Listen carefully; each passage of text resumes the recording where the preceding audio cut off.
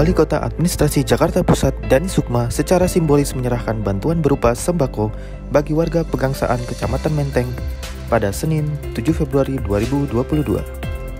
Kegiatan ini adalah salah satu bentuk kolaborasi sosial berskala besar atau KSBB yang dilaksanakan pemerintah Kota Administrasi Jakarta Pusat berkolaborasi dengan PAM Jaya serta NU Care Lembaga Amil Zakat, Infak dan Sodako Nadlatul Ulama atau Lazisnu.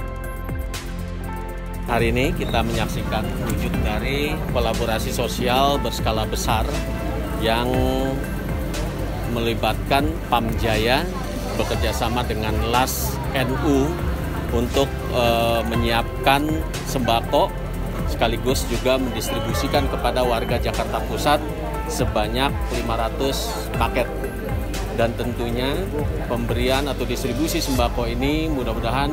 bisa membantu kelompok-kelompok masyarakat yang memang secara ekonomi sangat membutuhkan terutama di masa pandemi COVID-19 di kasus Omikron yang terus uh, meningkat kasusnya dan mudah-mudahan saja ini bisa membuat juga stabilitas harga 9 bahan pokok khususnya minyak karena di dalam bako itu ada minyaknya gitu ya.